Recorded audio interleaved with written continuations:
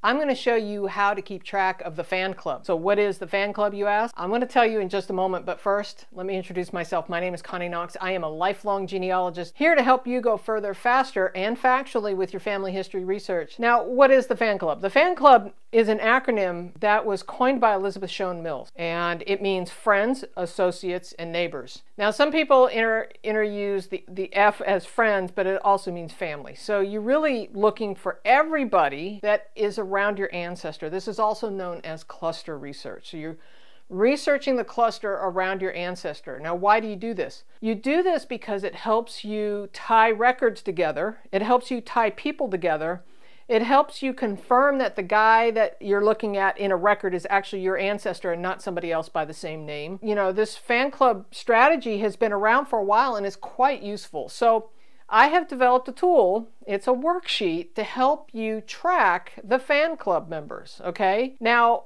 this worksheet, I'm going to show you how to build it, but uh, I've already pre-built one if you're interested. That is for the information access level channel member. So if you are not a channel member and you want a copy of this worksheet, all you have to do is click the join button and join at the information access level. And if you are a new member or you're an existing member and you're not sure where to get those uh, handouts and worksheets, they are in the community tab.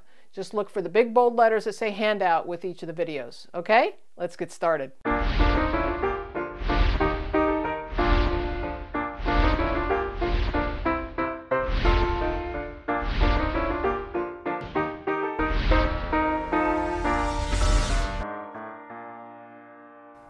right, I'm super excited to show you this tool that I have created for tracking the friends, associates, and neighbors that surround your ancestors and your research problem.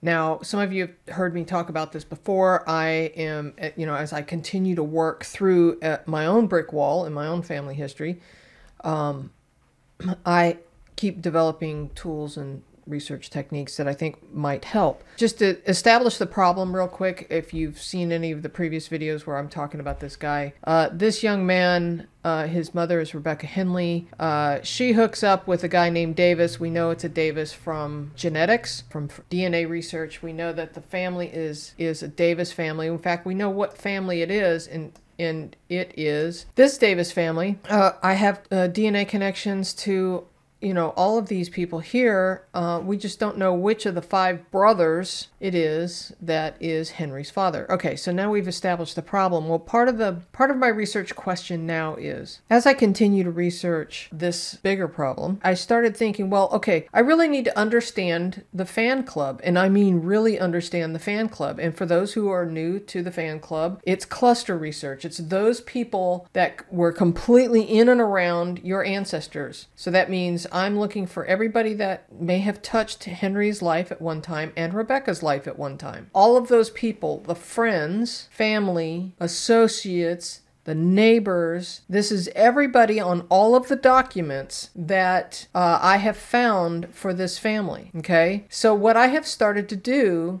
was I have started creating in one spreadsheet all of the documents for Henry, all of the documents for Rebecca, and all of the Davises. And that is this family of Davis. Joel Davis and Panaya had several children. I'm really focused on the men. So the so Joel and Panaya had five sons: Micaiah, Jesse, Joel, Joshua, and Exum Davis. One of those boys is this unknown Davis. Okay, that much I know, and this much I know is in fact my ancestors. Okay, in order to really start collecting all of this data. This is a lot of stuff. This is a lot of records. I have discovered wills. I have, you know, really kind of started mapping out the land records. And I'm really trying to gather all of that information in, into the community in the Back Creek area of Randolph County, North Carolina. And so let me show you a couple things that I've done. So, one of the things that I'm trying to do is establish that this Davis had to be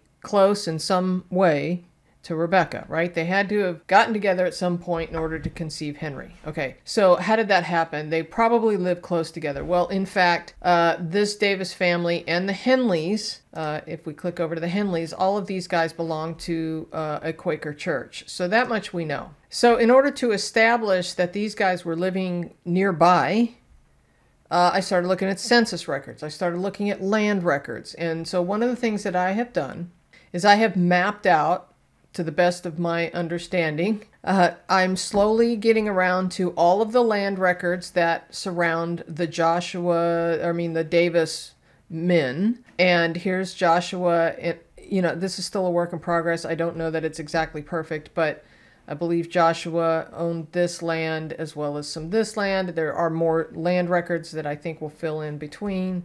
My great grandfather, uh, the guy I'm trying to solve his father, the problem for his father is right here. And sure enough, Joshua Davis lives or has land right next door.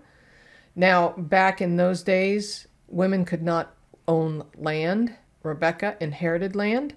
Um, and so at one time, my Henley ancestors owned all of that land in and around uh, Asheboro, North Carolina. So that's just one thing I'm trying to do. So, how do we track all this, right? So, I have created a tool in an Excel spreadsheet, and this Excel spreadsheet is a work in progress. I'm still working on it, but I wanted to show this to you because it was working so well for me. I wanted to share it. Now, this is the same strategy that I used the video where I had taken census records and extracted the data out of Ancestry.com and put it into an Excel spreadsheet like this uh, so that you could filter it. Well, this is the same thing. This is exact same strategy. I will leave a, a link on the screen right now if you want to see that episode. I'll also leave it at the end of the video. But let's talk about this for a minute. So, what I have done is I have created a spreadsheet. Let me scroll down and you can see uh, several documents that I have put in here. Okay, let me explain how this works. So this is the top matter. This is saying what it is and who is it about. So the primary ancestor, what the project is. And so my project here is this. My research question is I want to understand all the connections between the Davis family and the Henley family. I know there's a connection. They lived in the same community.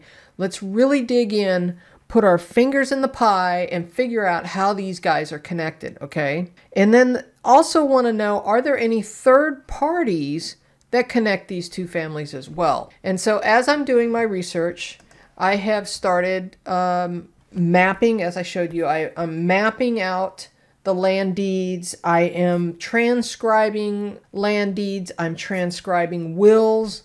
I'm transcribing all kinds of stuff. And every line, every person that appears in every document is going in here. And I've got separate columns for first name and last name. And I do that on purpose so that I can filter by the surname. So let me explain how this works.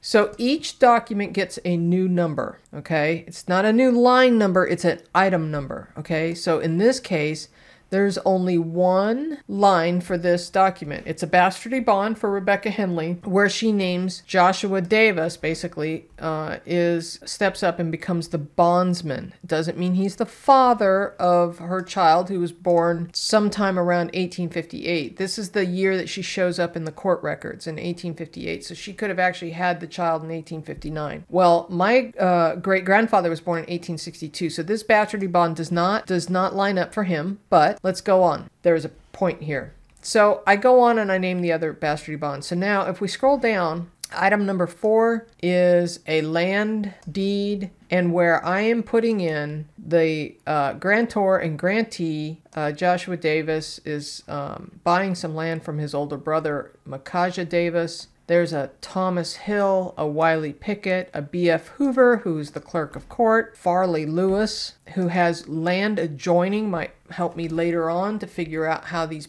puzzle pieces go together. Hale's line, is a joining line. Colette's line, don't know who the first names are of these people. All right, so now down to item number five is another land record. So I'm, what I'm doing here is I'm creating a list of every person that appears in every document between everything I've found on the Davis side and the Henley side. So this is going to become a lengthy document, but boy, it's already starting to pay off. Here is a, uh, a land deed um, from J.M. and Etta Varner to H.G. Henley, who is my great grandfather. So this is my subject, right? H.G. Henley. So here is John Henley and Keziah Nixon. And so if we jump back over there for a moment, this is the will, and everybody that is named in that will even if they have land adjoining or if they have uh, if they're a clerk or a witness or whatever. So everybody's being named in here. All right, so now what can we do with this?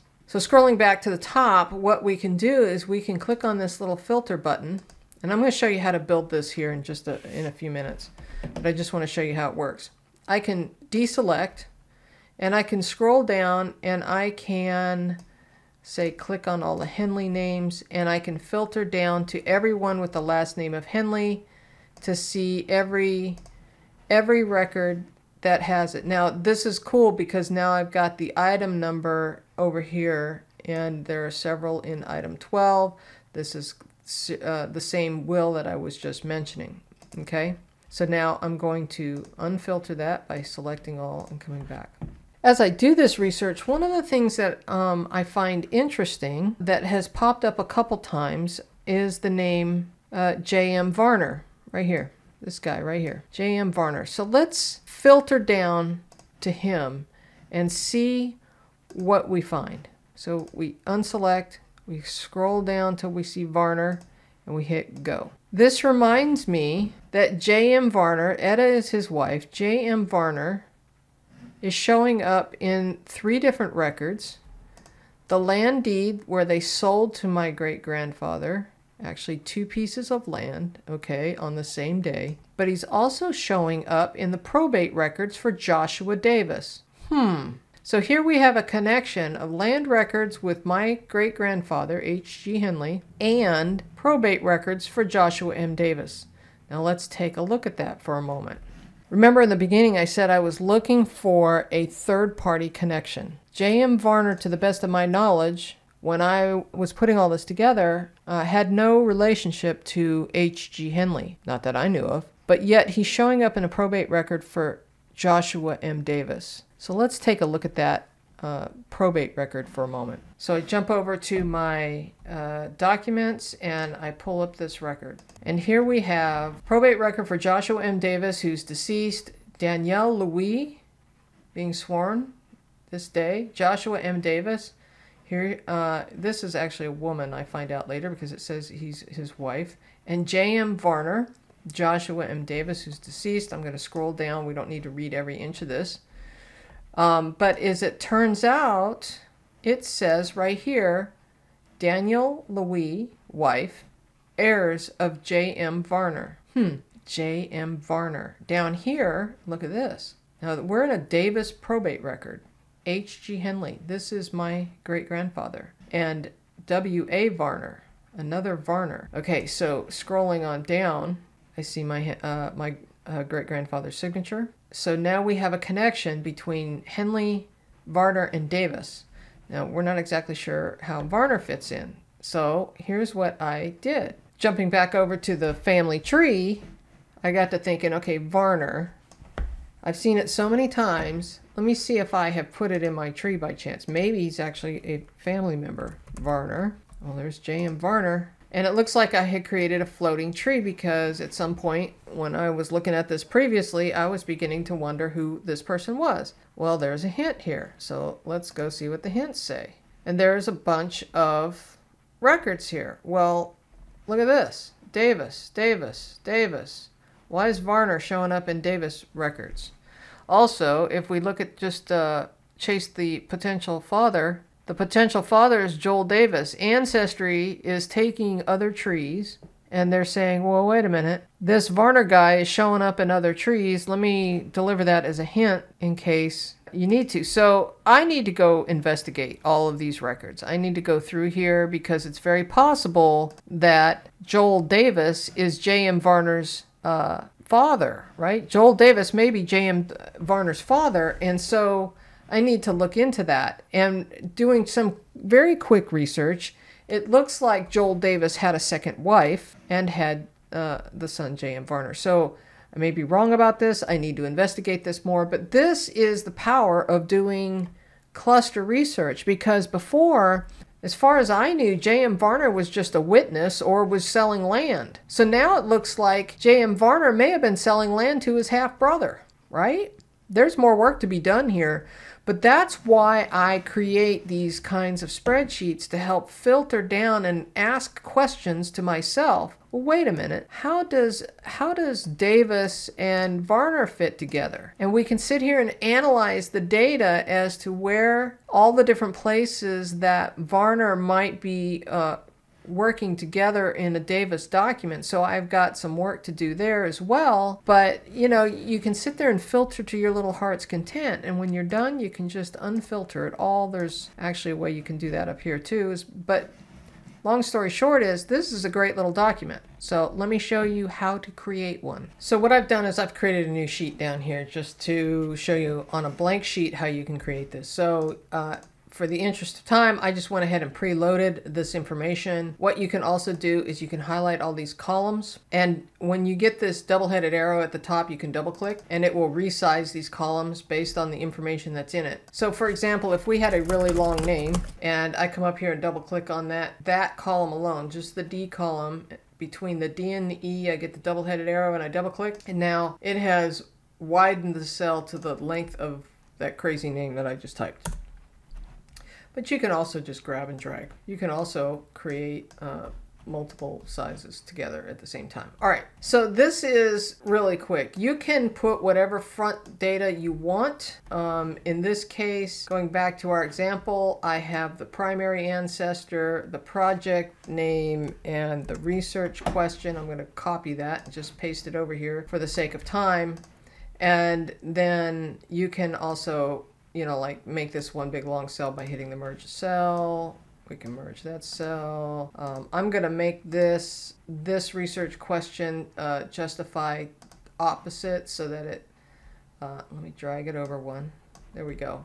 And so you can create these uh, merge cells. So now when you type, they're all one big cell. Okay, so there we have it. Now we have these three. And all you have to do, this is really easy, highlight this come over here to the filter button and hit this filter button right here.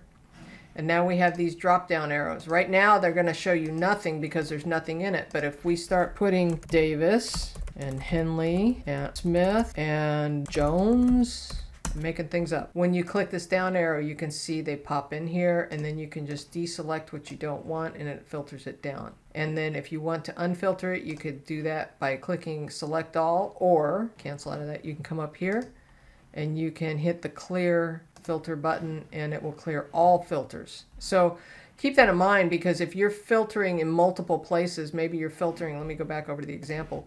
If you're filtering by year and we've got I don't know, several years selected. And then you're filtering by name. And I'm totally making this up. And now we've got this list going. You can see this little this little extra dot right here. And that's showing you what is filtered. In fact, where it says equals, it shows you the years that are being filtered, okay? But here we don't have anything filtered. It's showing all, okay? And here we've got another one where we're showing filters and if you hover and just wait for it, it will show you everything that's being filtered. And then you can come back up here and hit clear all and it will go back to your original document. So that's kind of a quick way to create that. Um, I highly recommend that you create one and keep it as your input document. And that's what I have done down here. I've created this document for those who are channel members at the information access level or uh, at patreon.com forward slash genealogy TV. Those who are patrons, um, at the happy dance level or higher, you will get this document. And if you want to join, stick around. There's information on how to join and get these documents as part of your membership. So I have an input tab and I always create my input tabs in yellow so that I know in my head this is where I'm putting the documentation in. I have just created some instructions here. And then what I did so that I could sit there and I could sort columns, I could filter columns, I could do all kinds of crazy things that I want to do without messing up my original. I created a copy down here at the bottom. I've created a copy of the input tab. It's exactly the same except it's linked so that I can do all my playing in the sandbox over here and I've also color coded it so that as information is being added to the input tab, it's showing up over here. But basically I have created a conditional format so that if it is uh, if the if the data on the previous tab has no information, uh, then it'll show up gray with a zero in it like that. Okay, so all this information here you would not touch because it's going to be input from over here. Watch, I'm going to type primary ancestor is John Smith. And now watch what happens when I go over to the linked copy. It says John Smith. Okay, and same thing here. When I'm adding new documents in here, let's say this is document number five and it's a will from John Smith. And you know, I can add John Smith over here and John uh, and Smith over here, and he's the deceased. And so then when I go over to the link tab, there's the new information I just put in. Okay. So that way I can filter over here without worrying about messing up my other data.